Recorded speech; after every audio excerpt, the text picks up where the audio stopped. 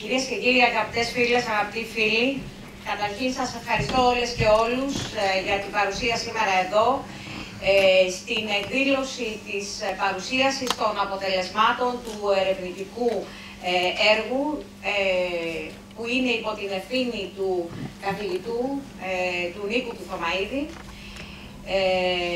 Ο Νίκος είναι ένας άνθρωπος ο οποίος κατάγεται από τον τόπο μας, ο Γιαραγώτης ο Νίκος Οφωμαίδης, ο οποίος ε, είναι μεν καθηγητής στο Πανεπιστήμιο Αθηνών, στο ΕΚΠΑ, όμως η καρδιά και η ψυχή είναι ε, στη Λέσβο, στα νησιά του Βορείου Αιγαίου. Και έμπρακτα με αυτό εδώ το ερευνητικό ε, αποδεικνύει κιόλας ε, το πώς η αγάπη για τον τόπο όσο μακριά και φεύγει κανείς, πάντα παραμένει και τελικώς επιστρέφουν όλοι στον τόπο για να προσφέρουν εδώ ε, τις υπηρεσίες τους και οι υπηρεσίες του, του Νίκου του Θωμαίδη, ε, ερευνητικές υπηρεσίες, επιτρέψτε μου να πω, πολύτιμες για τον τόπο μας και αυτό επιβεβαιώνεται ένα χρόνο μετά από το Μάρτιο του 2018 που ήμασταν εδώ πάλι όλοι μαζεμένοι στην ε, έναρξη του ερευνητικού αυτού προγράμματος. Ε, ένα χρόνο λοιπόν μετά είμαστε εδώ για να ακούσουμε όλοι με εξαιρετικό ενδιαφέρον ε, τα αποτελέσματα που έχει ε, δείξει, που έχει φέρει η συστηματική αυτή έρευνα. Ε, όταν ανακοινώσαμε την απόφασή μας να χρηματοδοτήσει η Περιφέρεια επιστημονικές μελέτες, ερευνητικά προγράμματα με σκοπό την ανάπτυξη του αγροδιατροφικού τομέα στην Περιφέρεια Βορείου Αιγαίου, αυτό ήχησε σαν κάτι φιλόδοξο, ακούστηκε ίσως σαν κάτι μεγαλόπνο, για ορισμένους ίσως να φαινόταν και παράδοξο. Ποια θα ήταν η αξία, ποιο θα ήταν το νόημα, ποια θα ήταν τα αποτελέσματα αυτής της, ε, της προσπάθειας θα είχαν ανταπόδοση πόροι που αποφασίσαμε να διαθέσουμε. Σήμερα λοιπόν στη συνάντηση αυτή λεπτομερώς θα παρουσιαστούν τα αποτελέσματα της μελέτης που αναφέρεται στο λάδι και την επιτραπέζια ελιά, καθώς και οι δράσεις που σχεδιάστηκαν για την προώθηση των, των προϊόντων, αλλά και των παραπροϊόντων της ελιάς και του ελαιολάδου στο Βόρειο Αιγαίο. Είναι δίκαια νομίζω για όλους μας την περιφέρεια μια μέρα ικανοποίησης η σημερινή.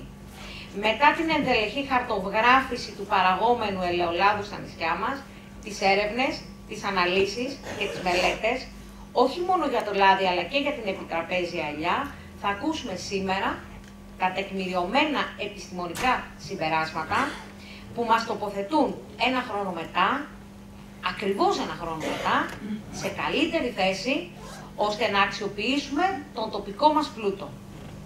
Τα επιστημονικά αυτά συμπεράσματα επιβεβαιώνουν την απόφασή μας.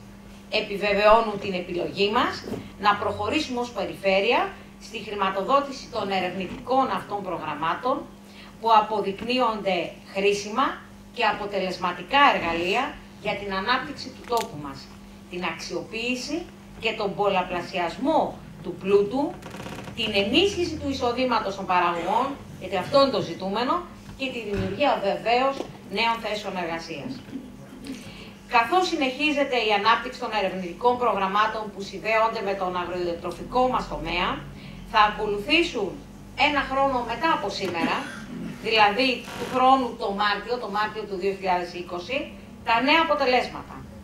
Η τελική τεκμηρίωση αναμένεται να τοποθετήσει τα προϊόντα μας στη θέση που τους ανήκει, για να κερδίσουν έτσι την ιδιαίτερη θέση στην αγορά, καθώς τα προϊόντα πλέον με ταυτότητα, διακριτά, τυποποιημένα, μπορούν να βρουν όχι μόνο καλύτερη θέση, αλλά και ασφαλώς καλύτερη τιμή. Η καινοτομία λοιπόν, η καινοτομία και η έξυπνη εξειδίκευση μπορούν πάντα να γίνουν και γίνονται εργαλείο ανάπτυξης. Εμείς ως περιφέρεια προχωρήσαμε και προχωράμε με αυτό το πνεύμα. Και βεβαίως η περιφέρεια δεν είναι φορέας επιστημονική έρευνας. Είναι πολιτικός φορέας. Ω πολιτικός φορέας όμως έχει υποχρέωση να κρατά σταθερά το βλέμμα στραμμένο στο αποτέλεσμα. Αξιοποιώντας τις δυνατότητες της εποχής τις δυνατότητες που μας παρέχει η επιστημονική γνώση και η επιστημονική έρευνα, με αυτές τις δυνατότητες απομακρυνόμαστε από την παραδοσιακή αντίληψη που θεωρεί ότι τα πράγματα πάντα θα είναι όπως τα βρήκαμε. Αρνούμαστε. Αποκρούμε κάθε αντίληψη αδράνειας και προσπαθούμε να ανοίξουμε νέους δρόμους. Νέους δρόμους που σταθερά να βελτιώνουν τη ζωή των ανθρώπων. Όχι στιγμιαία. Όχι στιγμιαία. Με αντοχή μέσα στον χρόνο και με διάρκεια. Γιατί αυτό είναι το ζητούμενο. Δεν μας ενδιαφέρει το εντυπωσιακό. Αυτό το οποίο μας ενδιαφέρει είναι το συγκεκριμένο. Όπως πολλές φορές έχω αναφέρει και στην περίπτωση της σημερινή, γίνεται πιστεύω χειροπιαστό και οφείλουμε, γιατί αυτή είναι η υποχρέωσή μας, να έχουμε σταθερά στραμμένη την προσοχή μας στο αποτέλεσμα. Φίλες και φίλοι, περιμένουμε να ακούσουμε από τους επιστήμονες τα αποτελέσματα της έρευνας μαζί με τις αναγκαίες ενέργειες που πρέπει να γίνουν για την αξιοποίηση, την ανάδειξη και την προώθηση των συγκεκριμένων προϊόντων. Οι δρόμοι που ανοίγονται, όπως άλλωστε είναι και ο τίτλος της τελευταίας ενότητας της σημερινής μας εκδήλωσης, είναι δρόμοι και γόνιμοι και καρποφόροι. Σας ευχαριστώ πολύ.